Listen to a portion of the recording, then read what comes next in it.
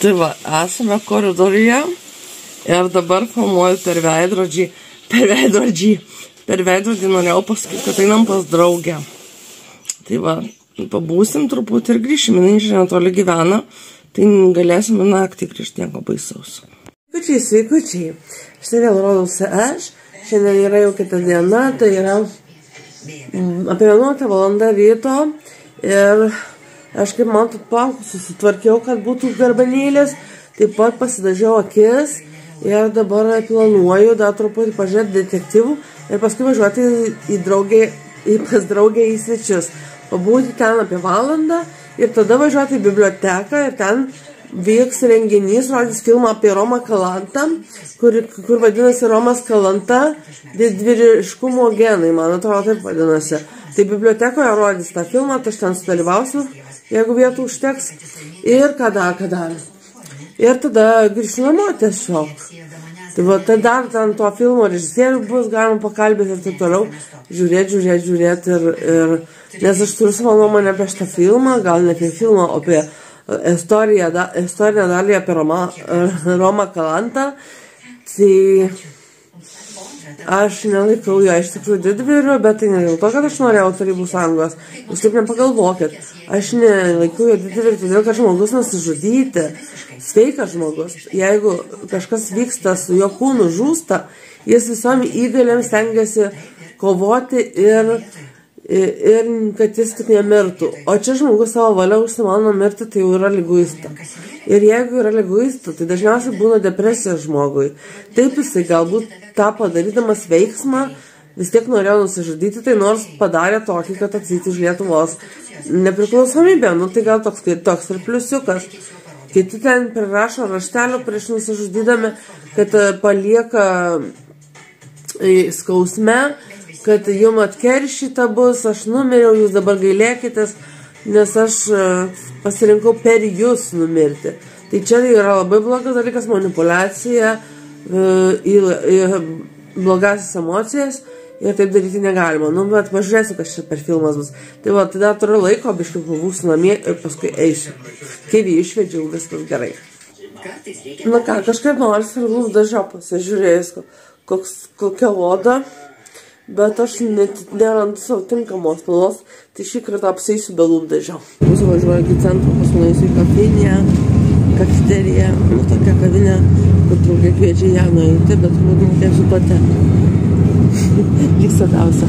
Jau susiskambinau, pasakė, kad geriau, kad aš noriu kavos, tai eitumėm į kavinę. Kavinė yra čia už kelių namų ir ten yra kur ten Svetbankas, tas pats pastatas, tai va nueisiu ir ten turėčiau ją rasti. Kurie gyvena daugiabučiuose mieste, miesto centre, tai dažniausiai pirma sauksus gali būti jų Svetbankas, kaip šiame pastate, ir taip pat dvi kavinukės. Taigi dabar aš esu prie mažosios dailidės, kurius kituose vloguose galėjote matyti, nes vaikščiodavau su vyru. Dabar vaikščiu su drauge, tai pasamdžiau draugę operatorą pabūt, nes jinai nenori būti kadre ir be to nelabai kažką išeitų parodyti, jeigu būtų, nebūtų operatoriaus, e, būtų tik tai veidas ir taip toliau. Tai va mes šiai vaikštome, žiūrėkit, kaip pavasaris, aš su plona bliuskute, bet apsilkau tą lemenę, kur vakar gavau iš About You. Ir vaikštau, nu ką, man visai patinka oras. Radom ir žibučių. Va, net draugė nusiskynė. Tai va, labai profesionaliai foto, foto šitą operatorę pastebėjau. Tai va, tai dabar pavaikščiosiu kelis ratus ir aš tada eisiu, eisim su draugiai į biblioteką, jinai pasims knygų, nes labai mėgsta skaityti, o aš noriu pažiūrėti tą filmą apie Romą Kalantą, heroizmo genas kažkaip vadinasi. Romas Kalanta heroizmo genai.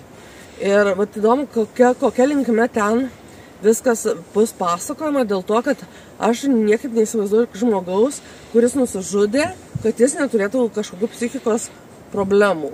Tai aš nemanau, kad jis herojus mano akimis nėra herojus, o jeigu žmonėms, man va, va tas ir įdomu pažiūrėti, kaip jį pateiks. Ar tik tai kaip herojų, ar taip pat paminės, kad jis ir sirgo depresiją. O depresijos būna ir būna priveda prie suicidinių minčių ir paskui, ką ten rėki, kad laisvė Lietuvai, tai jau netoks didelis heroizmas. Sveiki, labai sunkios dienos, asmeniniai reikalai. tiesiog nebūna nuotaikos kiekvieną dieną ir labai sunku prisiversti filmuoti, kai tau nėra nuotaikos. Ar aš, pavyzdžiui, dabar galbūt kai vlogį visą laiką filmuoju, tai šipsausi, o šį kartą aš visai nesišypsau, ir, nes tikrai nėra nuotaikos. Jeigu pagerės iki pusė, pusė, pusė, pusė dienos, tai tada bus viskas gerai. O dabar tik tai tai tą norėjau pasakyti viskas. Tai sėdime virtuvėje, būdu su vyru ir kiviukas, aišku, kaip visada. Kaip visada. Ir geriam, kas kavą geria, kas tik šiaip rymo, nes dabar kaip tik turi ateiti draugė. Tai va dabar jos ir laukiame, nieko negalime išeiti, nes, nu, jai svarbus reikalas. Čia labai nesismulkysiu, koks reikalas bus e, svarbus reikalas. Ir dabar E, sulauksim, pabūsim, o paskui galėsim truputį pro namus pasivaikščioti. Tu prasme, čia apylinkėse, su kiviu, aišku. Tai va. Tai tiek. Dabar dar trumpai prisijungiam, čia pasi, papasakosiu, kas, kaip kokį įspūdį man paliko filmas. Filmas tikrai buvo įdomus iš dalies ir tai, ką aš sakiau, ką gali parodyti filme, tai truputį klydau, nes filmo tiksliau Roma, Ro, Romo Ka, Kalanto susideginimas buvo kur kas prasmingesnis, negu galėjo taip atrodyti. Aišku, jisai buvo blogai jautėsi, jisai nenorėjo gyventi, jis susirgo depresiją, kaip supratau, dėl santvarkos, kad nebuvo laisvės, jisai susirgo dėl to depresiją ir už tai iš laisvę, už laisvę ir nusižudė. E, bet įdomiausia tai, kad E, jį pradėjo sekti kiti ir dar buvo du žmonės susideginę už laisvą, bet ne Lietuvą, nes jie buvo ne lietuviai, bet žinojo, kaip vyko Lietuvoje, tai susidegino kiti.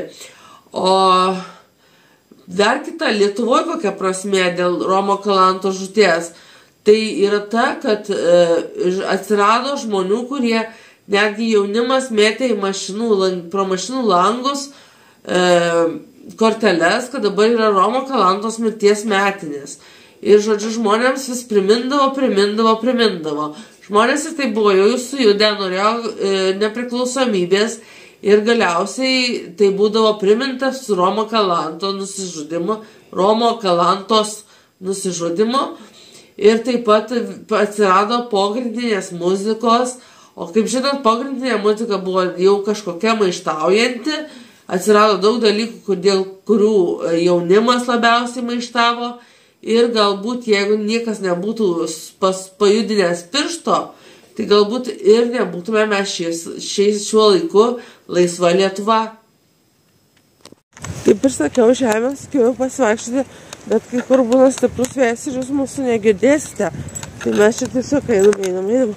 Bet mes einam netoli nei panemunė nedarom kiviuko dienos, bet tik šiaip pasivaikštom pro namus, po savo mikrorajoną ir tiek. O mūsų alitoje mikrorajonai yra labai mažyčiai, nes kažkodėl padarė daug mikrorajonų, kurie yra maži, ne, ne keli, kaip tai, kad didelė.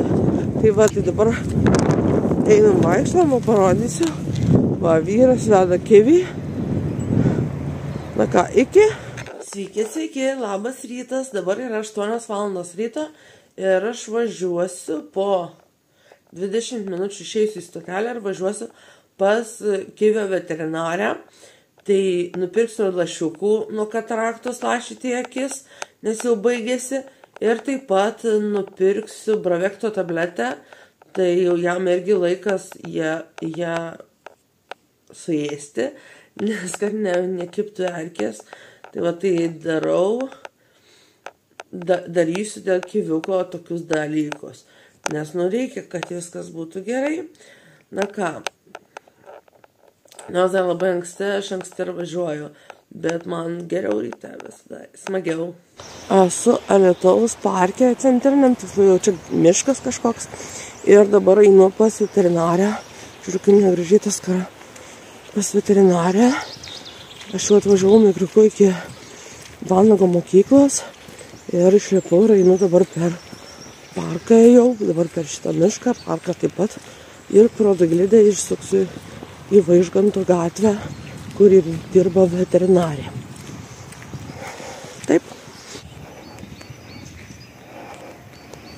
Atidariau duris ir tik paskui pagalvojau, kad reikia pažiūrėti darbo laiką, nes buvo užrakintos duris. Tai nuo 10 dirbo, o dabar yra pusė. O dabar yra pus... Ne, dabar yra 9. Ja. Ir dabar valandą kažkur prabūt. Oi, oi, oi, bėda. Nepažiūrėjau laiko e, prieš važiuodama.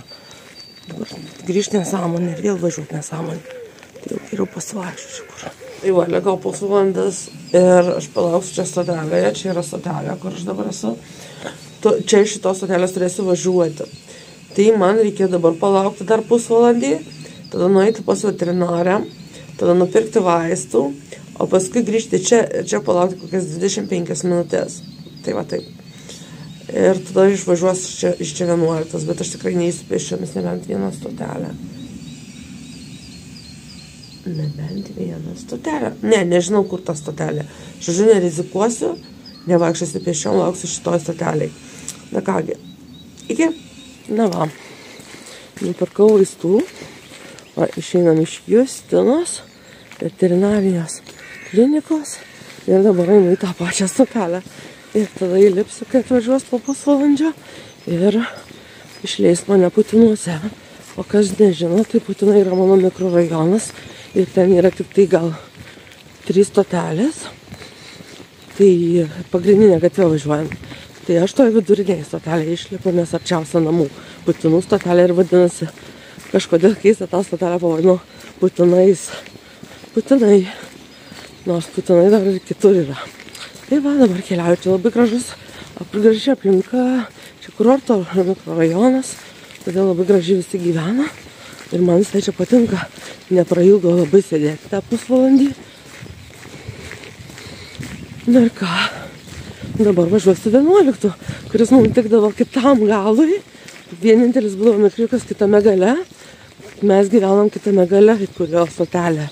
O šita stotelė šitiems žmonėms kurorto yra taip pat vienintelė stotelė ir vienintelis mikriukas, kuris veža. Tai va, tiek bendro yra, o šiaip nieko ypatingo. Na štai jau aš stotelėje. Laikrodis rodo, kiek rodo, po 7 minutės po, po 9. Ar 9, po 10. Po 10, 7 minutės. O va štai mikriukas važiuoja po 10 pusė 11. Tai šito ir lauksiu, nes ankstesnio nebus. Tiesiog nebus. Nu ką, pasidėti, dar parodysiu vaistus. Kyvė lašai nuo kataraktos, dviejį, kažką skirtingai daro. Tai va čia čikuako nupieštas, čia kažkoks didesnis šuo. O čia yra bravekto nuo erkių, kad nepasikautų erkių ir tada būtų sveikas, nesusirgtų blogom lygom. Tai va, pirkom, pirkau aš iš vyro pinigų gerai.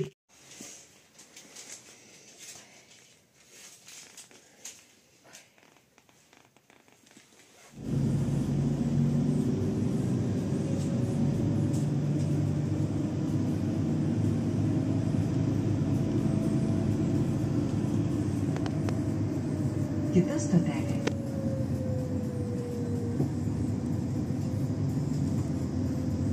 Aš sakau, dar į kioską grįždama nusipirkau obolių.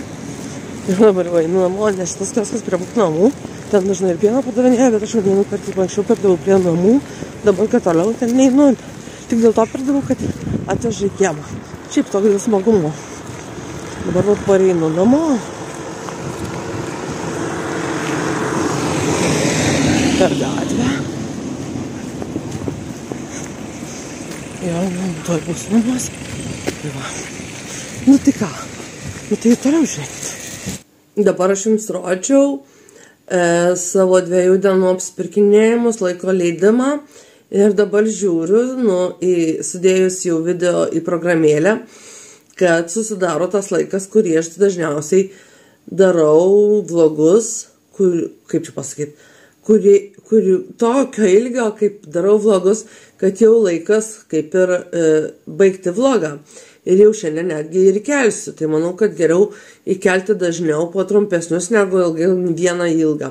Tai va, tai dabar jeigu patiko mano vlogas, spauskite patiktuką. Mhm. Taip pat prenumeruokite mano kanalą. Taipogi galite paremti Contribicon platformoje.